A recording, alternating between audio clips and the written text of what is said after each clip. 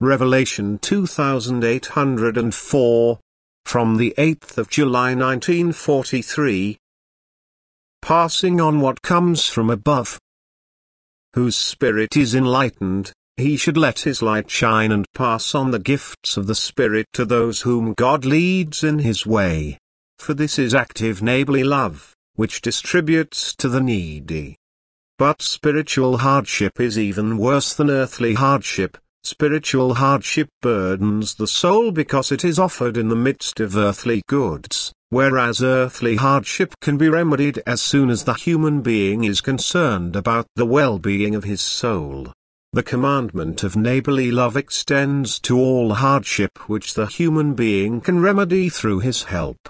But anyone who offers spiritually is grateful for every gift which reduces his hardship, and therefore spiritual gifts should be given to him which, however, can only be distributed by a person who is spiritually enlightened himself, who thus constantly receives knowledge so that he can offer it to his fellow human beings.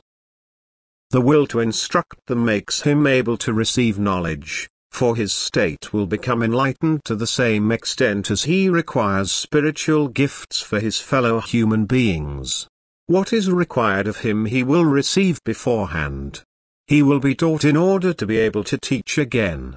And thus, he will also carefully ensure that he only spreads the pure truth, for God, as the eternal truth, wants the truth to be conveyed to people who desire it, and thus he will not allow the light which flows brightly and clearly from the heavens to earth to be obscured. It protects the human being from misrepresentations of what is imparted to him from above, that is, once the Spirit of God is effective in the human being he will also be guided correctly in speech and thought by all beings which are in the light and look after the human being on earth. And thus, if he intends to convey the truth to his fellow human beings he will be protected from erroneous thinking, he will be able to teach at any time and to anyone. It will always correspond to God's will. Because God's Spirit expresses itself through this person, because the human being cannot conduct spiritual conversations of his own accord if he is not impelled to do so by the Spirit from God, providing the human being is willing to serve God and spread the truth.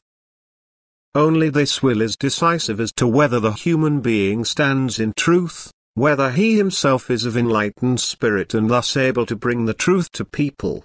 And only the person who stands in truth himself will speak with conviction and stand up for the truth, for he is rich in spiritual knowledge which will not let him remain inactive.